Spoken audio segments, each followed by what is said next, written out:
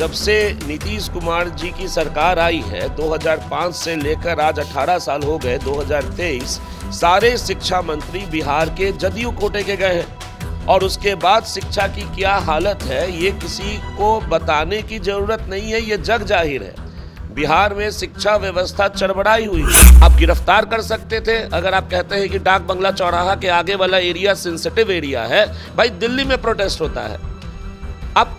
गिरफ़्तार कर सकते थे, क्या वो लोग आतंकवादी थे? और वैसा व्यक्ति जो खुद प्रोटेस्ट राजनीति से ऊपर तक आया है और जो छात्र राजनीति से आया है, जब वो सत्ता के लोभ में इस तरीके की हरकत करे तो ज़रूरत ही जरूरन ही ये बिल्कुल ही निंदनीय। जो गांधी जी ने, जो बापू ने हमें रास्ता दिखाया था सत्याग्रह का, वो भी तो प्रोटेस्ट करते थे। उन पर ब्रिटिश सरकार इसी तरीके से जायज़ मांगों को लेकर लाठियाँ चलाती थी तो क्या फ़र्क रह गया? आज नीतीश जी में और ब्रिटिश सरकार में। और ऐसा तेजस्वी यादव जी की जब पार्टी थी राजद, और जब उन्होंने बिहार पुलिस एक्ट में संशोधन किया था नीतीश कुमार जी ने, उसमें भी राजद के माननीय विधायकों ने जब प्रोटेस्ट किया था तो उनको मार्शल से फेंकवा दिया था। तो नीतीश कुमार जी किसी के सगे हैं ही नहीं। बिहार की राजनीति में तो ये मुहावरा है कि ऐसा कौन सा सगा नहीं जिसको नीतीश जी ने ठगा? नहीं 2019 से लेकर 2022 तक जो है, दो अढ़ाई साल तो विधानसभा का भाषण इसी पे चला है कि जो तेजस्वी यादव जी हैं, वो प्रूव करने में रह गए कि देखिए नीतीश जी पलटू राम है। और अढ़ाई साल तक नीतीश जी अपने आप को डिफेंड करते रहे कि वो पलटू राम नहीं। राजनीतिक गठबंधन हम पार्टी नहीं तोड़ रहे हैं, सरकार मज़बूत है, यही सब चलते रहता भाई, आपके सरकार से बिहार की जनता को क्या लेना देना? आप तो बैठे हुए अपनी मंत्री वाली कोठी पर, बैठिए। दो दिन पहले, यानी बुधवार को, बिहार की राजधानी पटना में बीजेपी कार्यकर्ताओं और पुलिस के बीच में जो झड़प हुई, वो आप सबने देखा है। किस तरीके से बीजेपी पटना के गांधी मैदान से विधानसभा मार्च करने के लिए निकली हुई थी और बीच में ही डाक बंगला चौराहे आते आते उनको बिहार पुलिस के लाठी का सामना करना पड़ा। एक कार्यकर्ता की मौत भी हो गई। इस पूरे मामले पर आज हमारे साथ बातचीत करने के लिए हैं लोजपा रामविलास के नेता राहुल सहाय। राहुल जी, क्या कहेंगे? तेरह तारीख की वो घटना बिहार में जिस तरीके से बीजेपी कार्यकर्ताओं पर लाठियाँ बरसाई गई, सर फट गया, सांसदों को भी नहीं छोड़ा गया। एक कार्यकर्ता की तो मौत भी हो गई है। देखिए, सबसे पहले हमारी पार्टी लोक जनशक्ति पार्टी रामविलास और हमारे राष्ट्रीय अध्यक्ष माननीय श्री चिराग पासवान जी और हम सभी लोजपा के जो कार्यकर्ता हैं, वो इस जो प्रकरण की घोर निंदा करते हैं। और ये ज़रूरन ही ये लोकतंत्र में काला दिन था। जिस तरीके से कार्यकर्ताओं को, भाजपा के कार्यकर्ताओं को, विधायकों को, सांसदों को पीटा गया वो निश्चित रूप से लोकतंत्र पे एक काला धब्बा था। और माननीय नीतीश कुमार जी, जो खुद छात्र राजनीति से यहाँ तक आए हैं और खुद अपने छात्र जीवन में कई प्रोटेस्टों में वो रहे हैं। आदरणीय जयप्रकाश नारायण जी के संपूर्ण क्रांति में भी वो थे।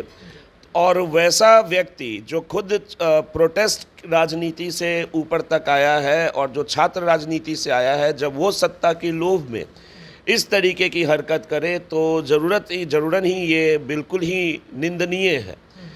जिस तरीके से पीटा गया, वो किन मुद्दों को लेकर कार्यकर्ता भाजपा के वहाँ पे गए थे? शिक्षा व्यवस्था को लेकर गए थे? तो क्या इसमें गलत था?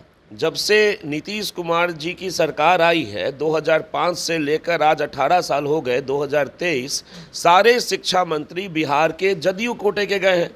और उसके बाद शिक्षा की क्या हालत है, ये किसी को बताने की ज़रूरत नहीं है, ये जग ज़ाहिर है। बिहार में शिक्षा व्यवस्था चरबड़ाई हुई है। जो विद्यार्थी हैं, वो अपने घर छोड़कर, किसान अपने ज़मीनों को गिरवी रखकर, आज अपने बच्चों को बाहर के प्रदेशों में पढ़ा रहा है। किस लिए पढ़ा रहा है? क्योंकि राज्य सरकार पूरी तरीके से शिक्षा व्यवस्था पर विफल हुई। तो 18 वर्षों से जदयू कोटे के सारे शिक्षा मंत्री गए हैं और सब वो शिक्षा मंत्री हैं जो माननीय मुख्यमंत्री जी के काफ़ी करीब माने जाते हैं। और इन लोगों ने शिक्षा व्यवस्था, शिक्षा प्रणाली अपने वोट बैंक राजनीति के लिए पूरी द्रस्त कर गई। अब उसके बाद 18 सालों के बाद जब रोज़गार देने का मौका आया है, उसमें बिहार सरकार नुक्का छिप्पी का खेल खेल रही है और उसके लिए अगर कोई जा रहा है सवाल पूछने के लिए, ऐसा तो नहीं है कि विधानसभा में इसकी बात नहीं चली है। कई बार 2005 से लेकर 2023 तक बिहार की शिक्षा व्यवस्था की गुणवत्ता पर सवाल उठे हैं। और मुख्यमंत्री जी ने क्या किया सिर्फ़ गठबंधन बदला है। तो 18 सालों के बाद जो पढ़ लिया इनके नेतृत्व में, आज आ रहा है नौकरी मांगने के लिए। आप उसकी बात नहीं सुन रहे हैं। लोकतांत्रिक माध्यम से लोग अपना प्रोटेस्ट दर्ज करा रहे हैं तो आप उन्हें लाठी चला रहे हैं।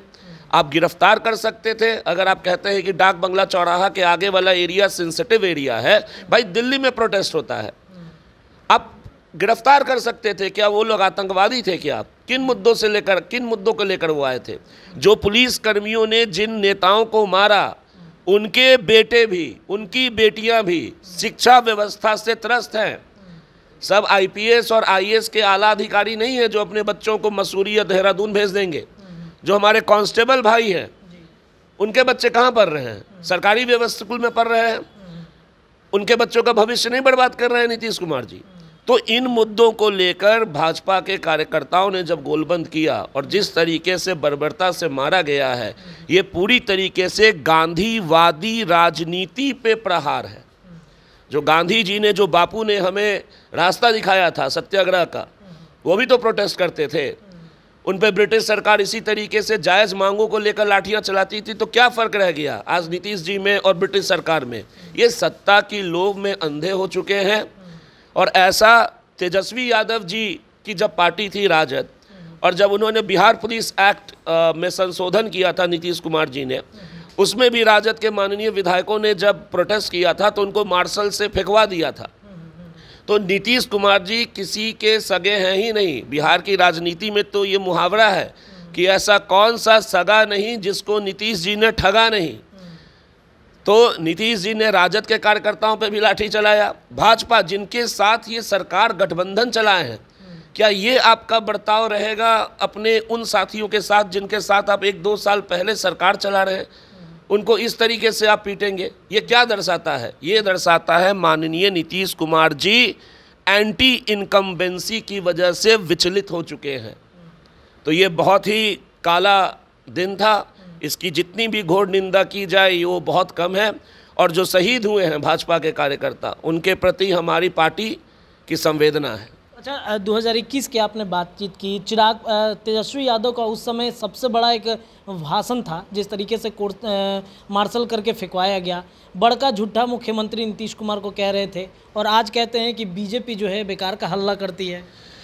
देखिए, ये तो उनसे पूछना चाहिए, ये तो बहुत बड़ा विरोधाभास है। आप देखिए कि 2019 से विधानसभा का सत्र चला है, उसमें विधानसभा का बहुमूल्य समय किस विषय पे गया है? 2019 से लेकर 2022 तक जो है, दो अढ़ाई साल तो विधानसभा का भाषण इसी पे चला है कि जो तेजस्वी यादव जी हैं, वो प्रूव करने में रह गए कि देखिए, नीतीश जी पलटू राम है। और अढ़ाई साल तक नीतीश जी अपने आप को डिफेंड करते रहे कि वो पलटू राम नहीं है। बिहार विधानसभा में ये बहस चला। और अब एक साल के बाद दोनों मिल के अपोजिशन को प्रूव कर रहे हैं कि हम दोनों पलटू नहीं हैं। तो बिहार के लोगों की बात हो कहाँ रही है विधानसभा में पिछले तीन वर्षों से? अभी भी जो विधानसभा चल रहा है, उसमें कौन सा मुद्दा उछलता है? क्या उसमें युवाओं के भविष्य का मुद्दा उछलता है? राजनीतिक गठबंधन हम पार्टी नहीं तोड़ रहे हैं सरकार मज़बूत है यही सब चलते रहता भाई आपके सरकार से बिहार की जनता को क्या लेना देना? आप तो बैठे हुए हैं अपनी मंत्री वाली कोठी पर बैठिए। लेकिन जब सत्ता मिल गया उसके बाद तो कम से कम बिहार के आम लोगों की बातें भी किया कीजिए जिसके लिए विधानसभा चल रहा है। तो ये तो माननीय उप मुख्यमंत्री जी श्री तेजस्वी यादव जी को बताना है कि इतनी जल्दी कैसे उनका हृदय परिवर्तित हो गया। इतनी जल्दी कौन सी राजनीतिक मतलब विचारधारा दोनों में मतलब आ गई? अच्छा नीतीश जी बोलते हैं वो समाजवादी हैं। कहाँ से नीतीश जी समाजवादी हैं? गरीब गुरबा के बच्चों के साथ इन्होंने खिलवाड़ किया।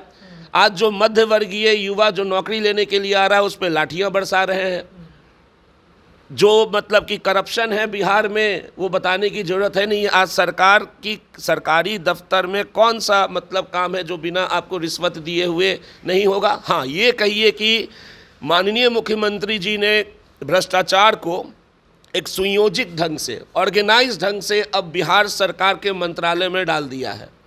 तो वो आप राजद के जो अ, मुखिया हैं माननीय श्री तेजस्वी यादव जी वो आपके सवाल का बेहतर जवाब देंगे कि डेढ़ दो साल पहले जिस मुख्यमंत्री जी को वो कोसा करते थे आज वो क्यों इनके साथ इतनी तरीके से मधुरता से सरकार चलाने के लिए विवश है? चलिए तो तेजस्वी यादव से कहीं ना कहीं ये सवाल अब लोजपा भी पूछना शुरू कर दी है। फ़िलहाल इस खबर में इतना ही, देखते रहिए हमारे चैनल द बिहार टॉप। धन्यवाद।